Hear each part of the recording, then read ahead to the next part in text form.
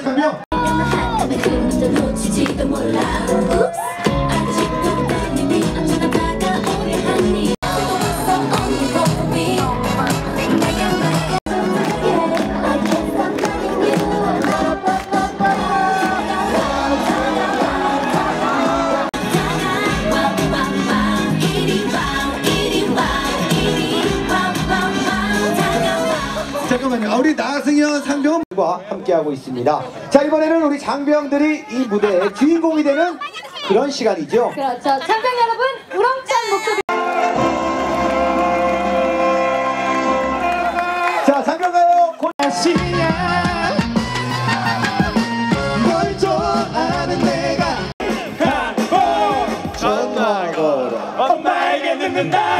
내 친구네 집이라고